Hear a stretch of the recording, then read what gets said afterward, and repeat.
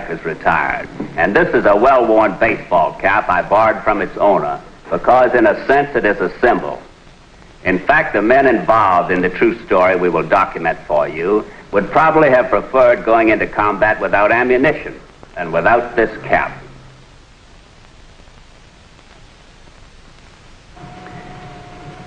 In August 1943, the USS Grayling was concluding her fifth Pacific patrol. Her skipper was Lieutenant Commander John E. Lee of Rancho Santa Fe, California, a veteran of 14 consecutive months of combat duty. Lieutenant Robert Bonin was executive officer. Lieutenant Junior Grade Edward Camel, gunnery officer. Radioman second class John C. Smith was radar operator and Chief Torpedoman Joseph Day was chief of the boat. The Grayling was down to her last torpedo and had been waiting for just the kind of target she now had in her sights. Stand by forward. Stand by number one. Final observation and shoot. Bearing, mark. 305. Range. Mark. 2500. Set. Shoot. Down scope. Fire one. Hold it. Top scope. This one I'm going to watch. So far, so good.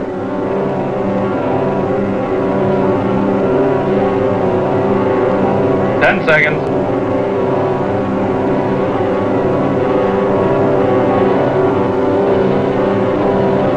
Five seconds.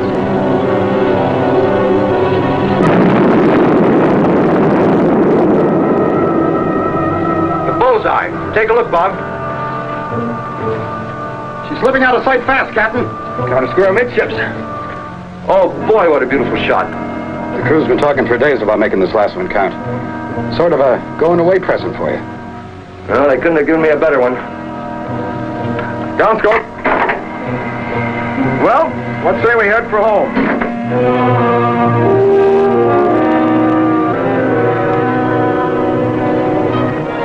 Was a customary welcome awaiting the Grayling when she returned to base at Fremantle, Australia. But it was a special moment for Commander Lee. Not only had this last patrol been highly successful, but within the hour he'd be getting his leave papers from Admiral Christie. Then a boat for home.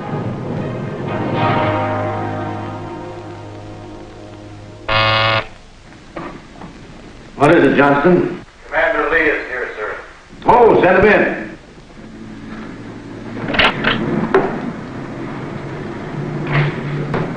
Hello, Jack. Morning, sir. Well, welcome home. It's wonderful to have you back. Thank you, sir. It's good to be back. You know, I'm sorry I couldn't get down to the dock to be a part of the welcoming committee. That's all right. I got your message. Uh, staff meetings every time I turn around. Oh, sit down, sit down. Thank you. Well, I've, I've read your patrol report. I know you have been sitting on your thumbs for the past 60 days. Well, we had a little luck and a good hot area. Well, I've got another one just as hot for your next patrol.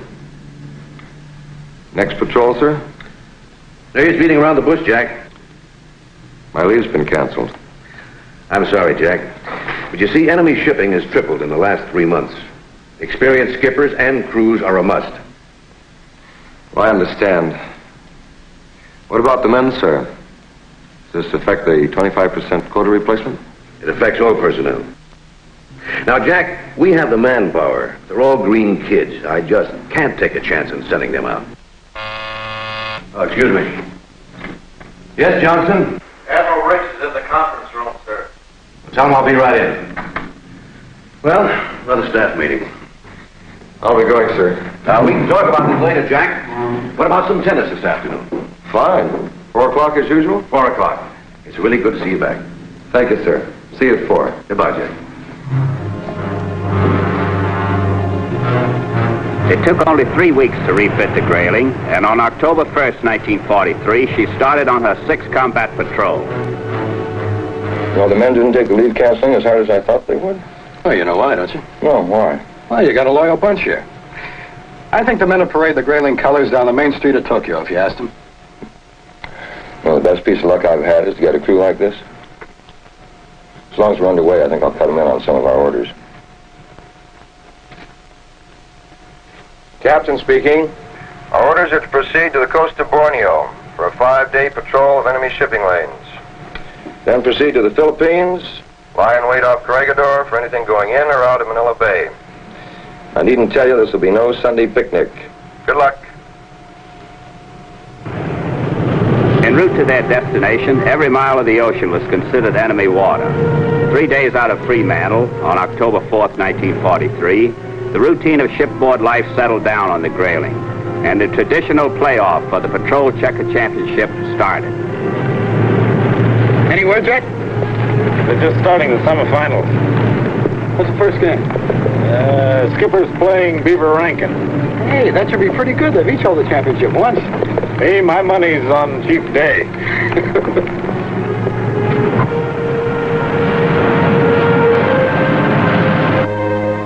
Rankin, your move. Hold it.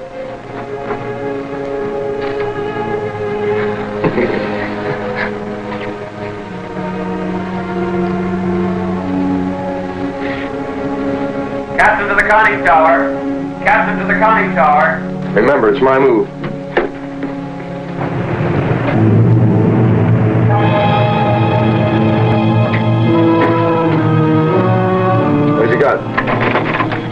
Radar contact at about 10,000 yards, Captain, bearing 350, closing in. Take her down, Bob. Clear the bridge. Dive.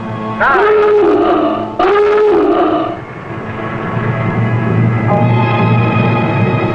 Battle station torpedo.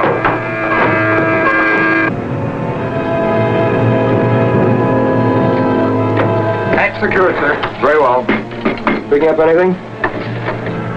I have a contact, sir, bearing 350. Okay, stay with it. Upscope.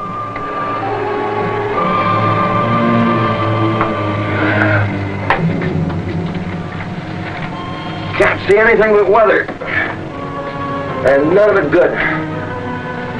Yeah. Oh, pea soup. Uh-huh. Anything more? Nothing more than a guess, sir. I'd say it's twin screws, maybe a tanker. Closing in fast, though. This might be a good chance, Captain, to see how good or bad radar is. Not on your life. They send us out with a full load of fish, then we can experiment. Besides, we'd have to surface. You know what this fog is like. We might run right out in the open. Here, let me take it. What have you got against radar, Captain? Oh, nothing really. Can't say much for it either. Except when they perfect it. Can't see a thing. No, hold it. Wait a minute. We're out in the open. Just barely make him out. If he doesn't start zigging, we got ourselves a sitting duck. Have to work fast. It's too hazy to make him out there. Yeah, we're gonna get one crack at him before that fog closes in again. Come on, let's go. Angle on the bow, 60 starboard. Final observation, and shoot. Bearing, mark. 352, Range, mark. 1500. Set. Shoot. Fire one.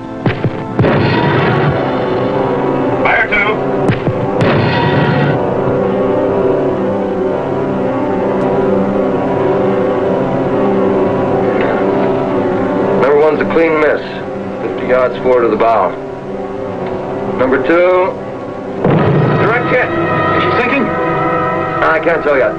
Just spread in the fog. You mean we won't get credit for a sinking? Doesn't look that way. Wait a minute, I've got an idea. Let's take her up, Bob, and try out that radar of yours, huh?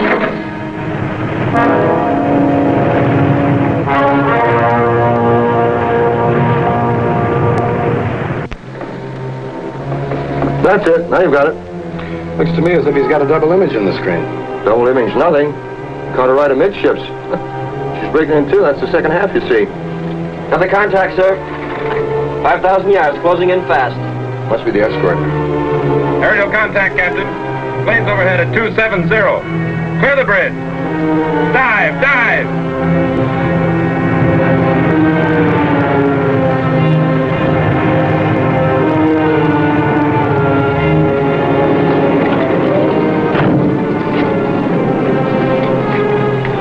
Out, Ed? Yeah, bombers. Four, maybe more. Seven's contact closing in fast, Captain. Oh, they've got us coming and going. Shall we rig for silent running, Captain? No, I want that destroyer to find us. As long as we can keep a surface vessel on our tail, we've got a perfect umbrella.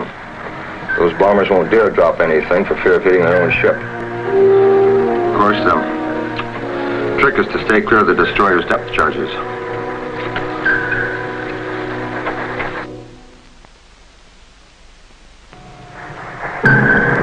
Captain Lee's strategy worked. Using the enemy destroyer as an umbrella, the attacking bombers were unable to drop their bombs. Their fuel low, they finally left the area. Captain Lee then rigged for solid running and lost the surface vessel. Her batteries charged, the Grayling was on her way at dawn the next day, and again the crew settled down to the routine of shipboard life. Now hear this. The game for the Grayling 6th Patrol Checker Championship is scheduled for 1400. Captain Lee versus Chief of the Boat, Joe Day. All right, gentlemen, no money showing your marker's good. There is no gambling in the United States Navy, just a friendly vote of confidence in your choice. All markers redeemed or collected before your first liberty. So step right up, your credit's good with good old honest John. Now, who else for Day? Who else for the champion, huh? Ah, here we got him. And please, gentlemen, let the man through, let the man through. And your name, sir, is...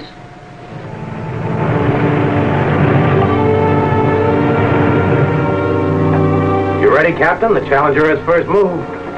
Just about.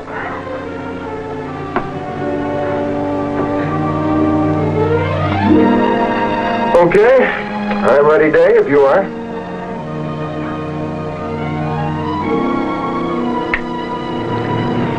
Skipper's move. Day just took his Black King. My money's on Day this time. I'll stick with the skipper. Well, he beat Herbie Herwoski, and, and Herbie was champ before Day. Hey, the skipper just took Day's king, and... Bearing 010. Elevation 20. Clear the bridge!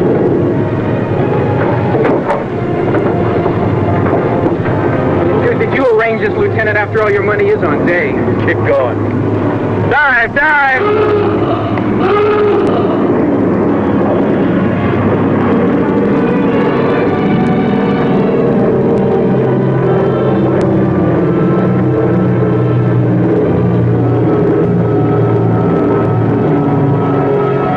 The date of the bombers' attack was October 14th. It was important to the Grayling, not only because it was a near-fatal encounter, but it marked the beginning of the most furious combat action the Grayling was ever to see.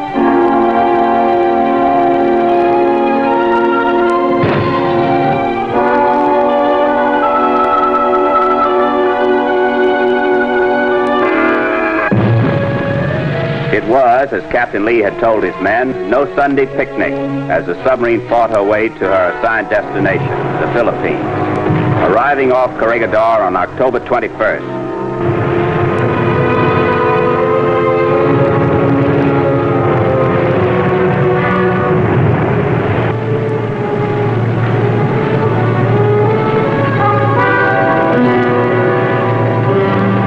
Captain to the bridge.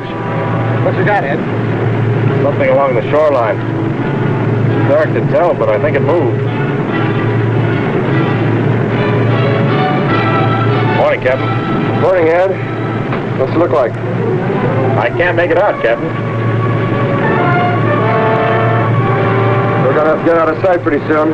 Take her down, Bob. Yes, sir. All right, clear the bridge.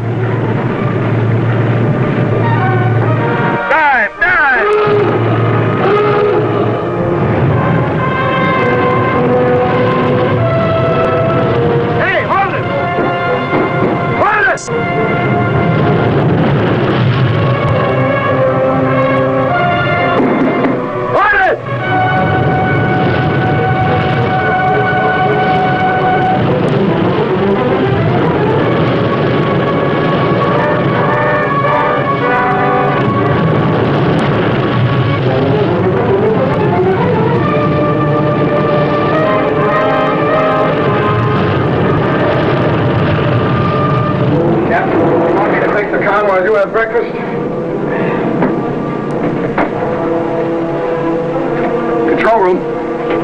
down there? No, I thought he was with you. We've left him in the bridge.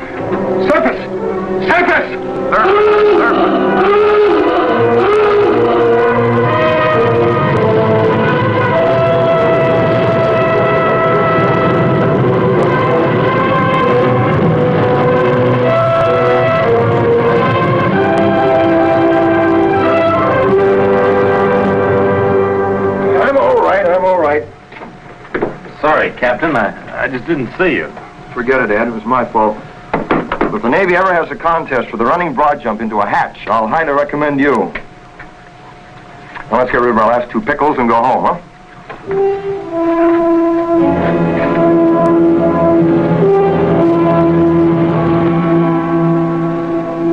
Yeah, beats me. Take a look, Bob. Looks like Inter-Island Transport, probably a supply ship.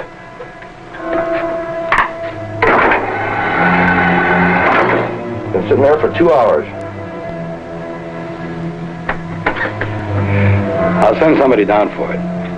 No, never mind. I probably left it on the bridge. She's either crippled and dropped out of a convoy, or she's waiting for an escort. Let's take her and go home.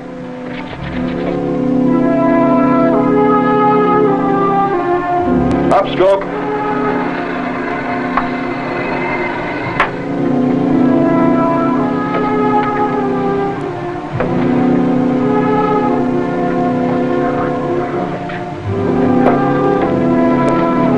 Bearing, mark, 030. Range, mark, 2500. Down scope. I don't know. I've seen sitting ducks before, but this sure takes the cake. Up scope. Take it, Bob. Tubes ready? Tubes ready, sir. Depth set at 18 feet. Very well. Looks like a clean shot to me. Stand by. Final range and shoot. Range. Mark. 2,000 yards. Set. Shoot. Fire one.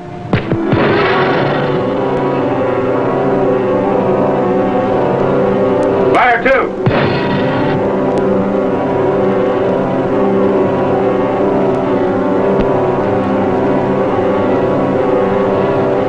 How much time to target? 20 seconds for number one, Captain. Captain, the target just started turning his propellers. Oh, boy.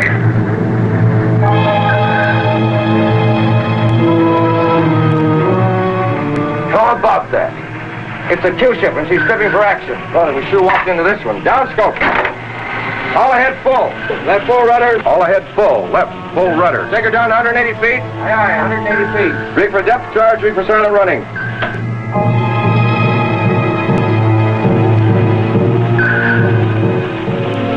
Any change, Tom? No change, sir. Stay with it.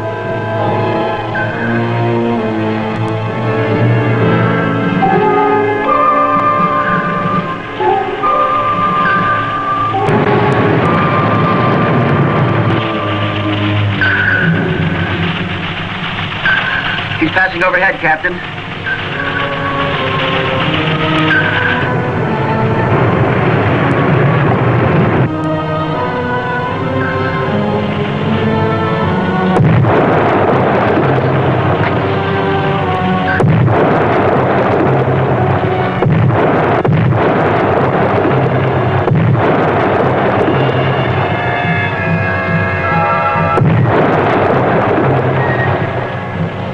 Report all compartments.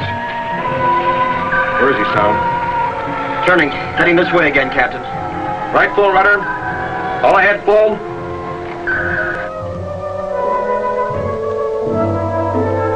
All compartments report no damage, Captain. Propeller speeding up.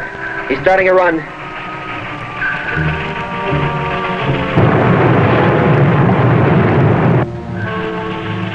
He's right on us, sir. He's dropped the first one. There's two. Three.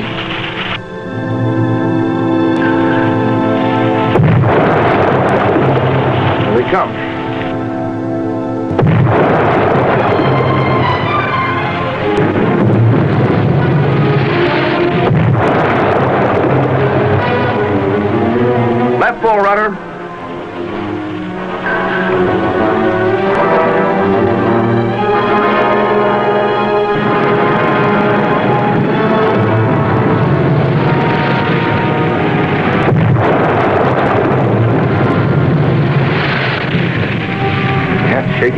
tail.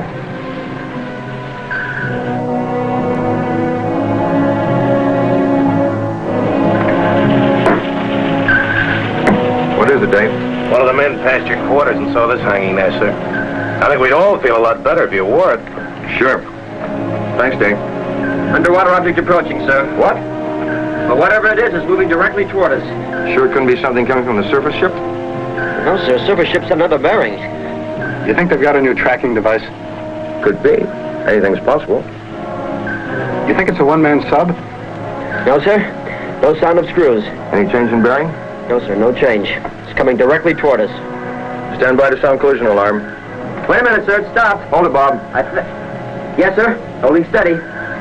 You know, it may sound crazy, Captain, but could it be a man-propelled torpedo, sort of a suicide depth charge? Crazier things than that have happened. Why would he stop? Maybe to take a new bearing. Object's moving again, sir. Coming toward us. Surface craft starting a run too, sir. Whatever that is in the water is moving directly over us.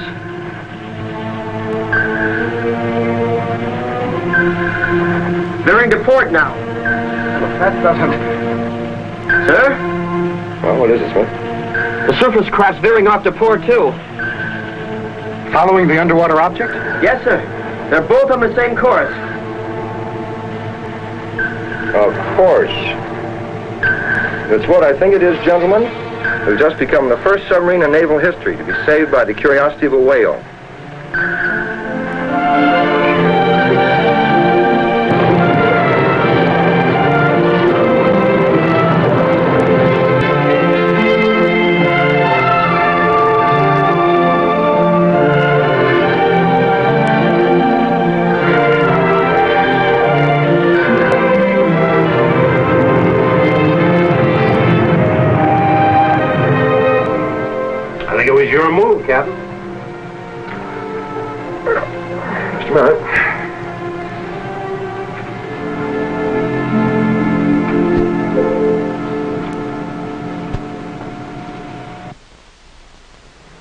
I'll be back in a moment with our special guest.